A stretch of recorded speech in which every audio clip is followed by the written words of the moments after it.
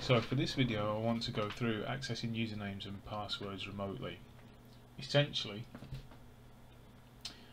what we are going to do is we are going to use LLMNR poison poisoning to get onto the uh, onto the box well to get the username and hash um, for the user then we're going to crack that with hashcat then using Metasploit we're going to connect to the SMB service on the target transfer the application across from our um, attacking machine then migrate to the correct user space room interpreter and then run Chrome parse in order to um, take out the usernames and passwords.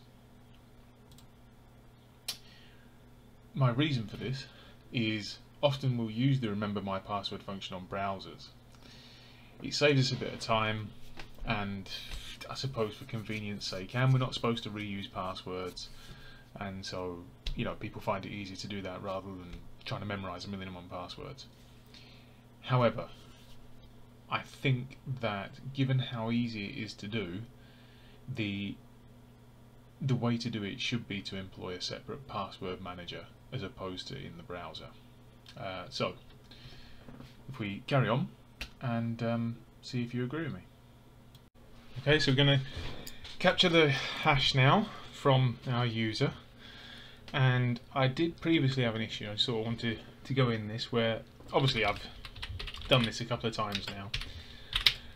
And I had an error message that basically said that it's skipping the hash because it's seen it before. And so quick Google. And that solves the problem. Um, it then allows us to see hashes that it's captured before. So if we just go to our Windows 10 box and when it decides to react there we go. Yeah that's right, you see how I've tested it? No that's just no use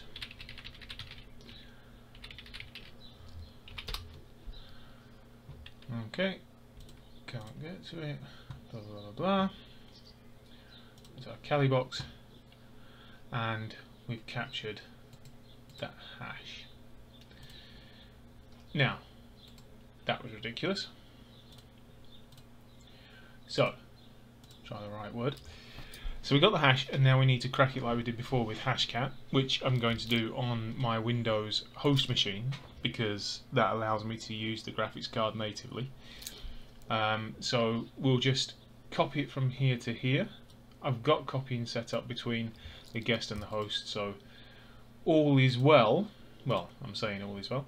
Um, and uh, I'll see you in a second when I do that on the uh, on the host machine.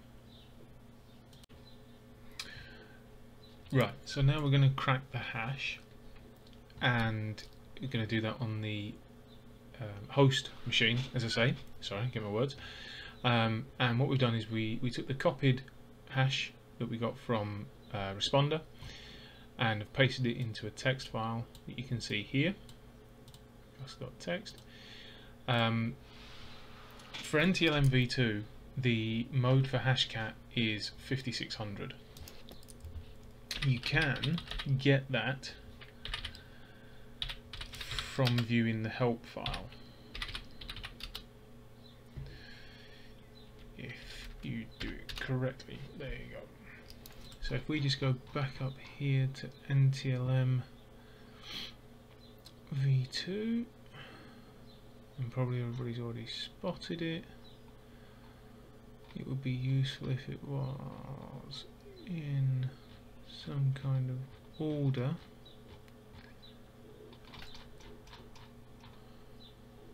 Pretty sure. NTLM v2 there you go I did find it. I've got a rough idea what I'm doing.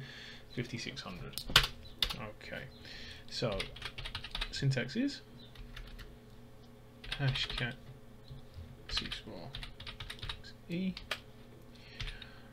Run in optimize mode for NTLM v2 the hash file which is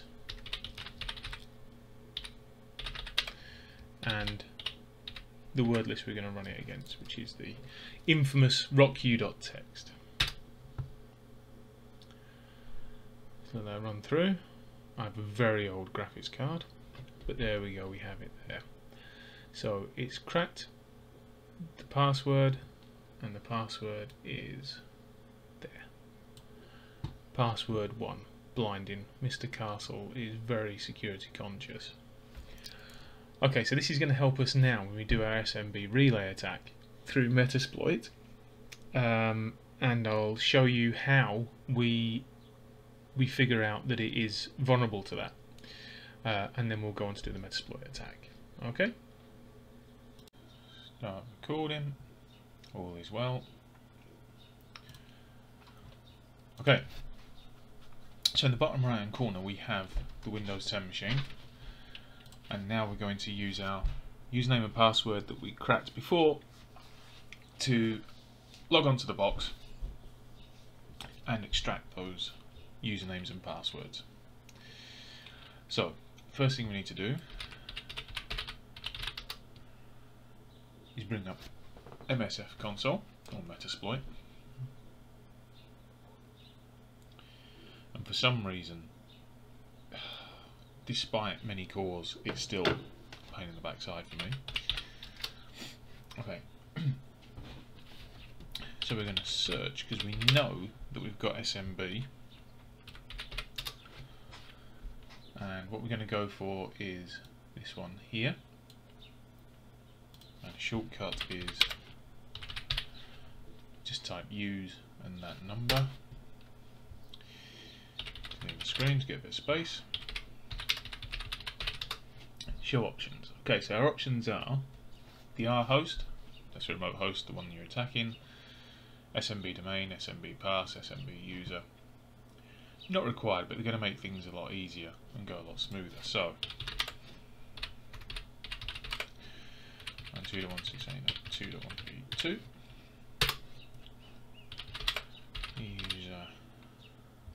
No. Set SMB user, and we know our user is F Castle. SMB pass. We know his password password 1 because we cracked it. SMB domain. We know that is my oh, local. Okay.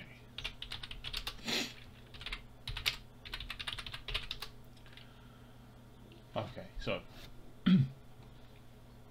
we have the attacking the IP of what we want to attack, the port, the domain, the password, and the user.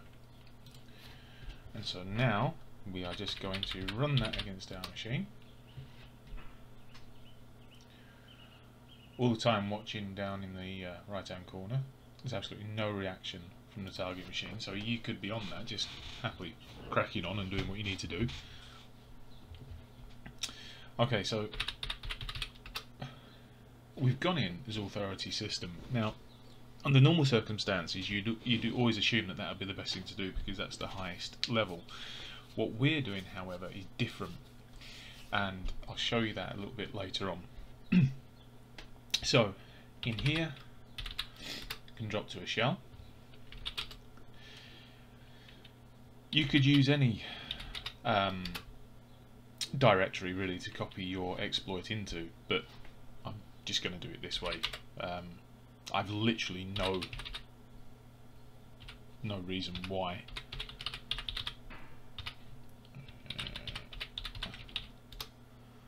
Uh, okay, so it's not there in a minute. Okay, so what we're going to do to copy it across, we're going to use cert util. Uh, this is this is a patched, as you can see, it's an enterprise evaluation box. It is patched, it's up to date, and under normal circumstances you wouldn't have RDP access to it. If you did have RDP access to it, arguably you could just browse, but I mean how how obvious do you want to be, yeah? Right, so in here I have the uh, executable that we're going to use. So I'm going to start a Python, not with that command I'm not, Python web server here.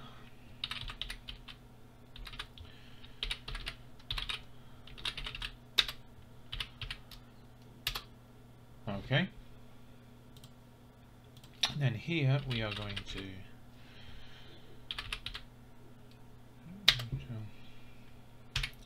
URL no cache file and where we're going to get it from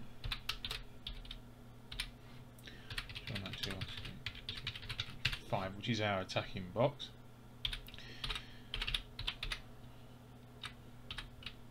what file we're looking for and what we want to copy it here as.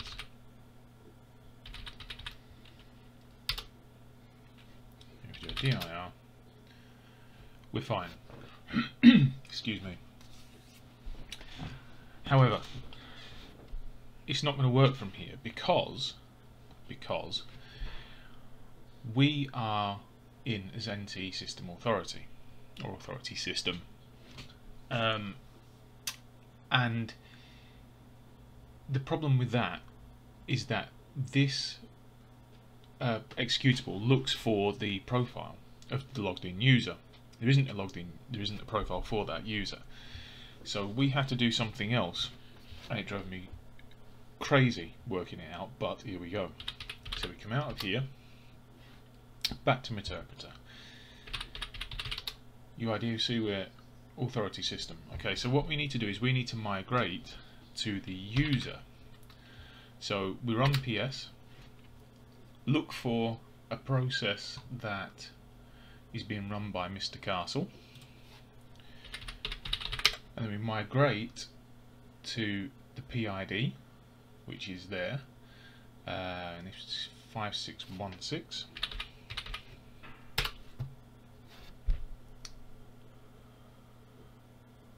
and then you can see the F castle and if we come out of this altogether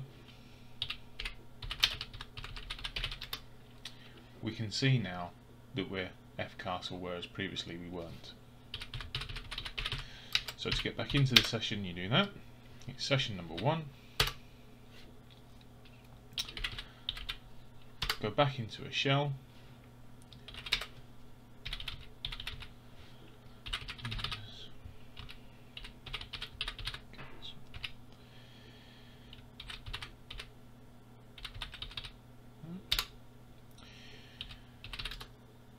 and the syntax for this is really quite simple and straightforward it is chromepass.exe text passwords. So calling the executable stext simply means to output it to a text file and then the name of the text file.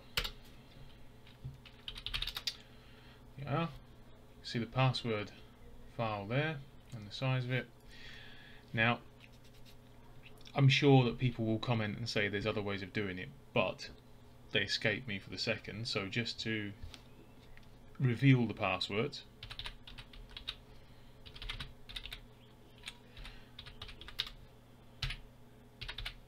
execution policy bypass,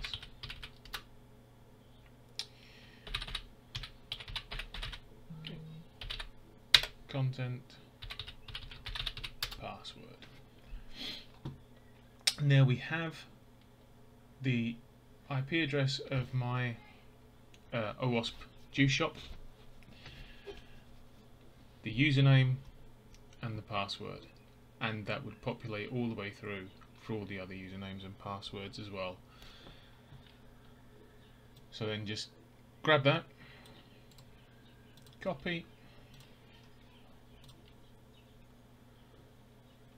come out in your own time, F castle passwords dot text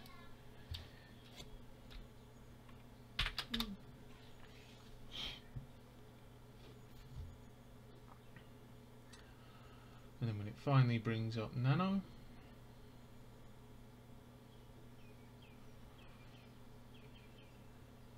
its own time.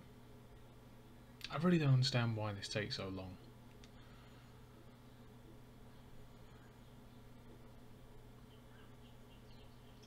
Here we go. Paste that in there. And then you can see and it's it's where it's originated from. So this is the same for any website. Where it's originated from username password and the password file. You can use you can open other passwords other password files um, so that would then come in useful for that just enumerate your user and see what see what you can find. Um, and this is my reasoning for why we probably shouldn't be using the remember my uh, login on browsers. It, this is the same across Firefox Opera um, there's many password recovery utilities uh, that could be used this way. So there it is. Um, I'd love it if you subscribed.